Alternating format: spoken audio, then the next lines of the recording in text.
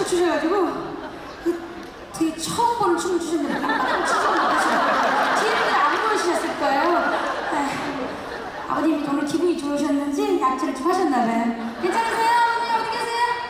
네. 네 아버님처럼 용기 내셔서 나오셔서 춤도 추시고 같이 함께 즐겨볼게요 아, 자 이번에는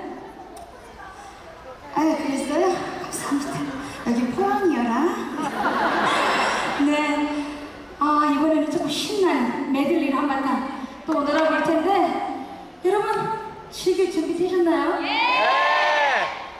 옆사람 눈치 보지 마시고, 오늘 여러분의 날이니까 함께 같이 즐겨봅시다. 아시겠죠?